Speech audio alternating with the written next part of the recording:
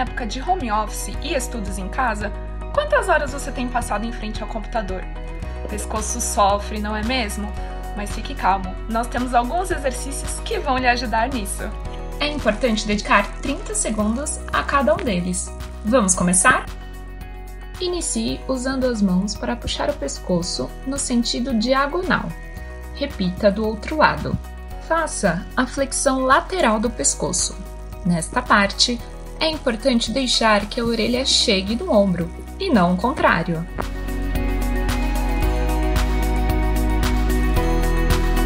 Rotacione a cabeça, olhando para o lado e mantendo os ombros no lugar. Repita para o outro lado. Viu como é fácil manter o corpo bem alongado e se livrar das tensões? Exercícios simples podem fazer diferença no seu bem-estar. Pratique em casa!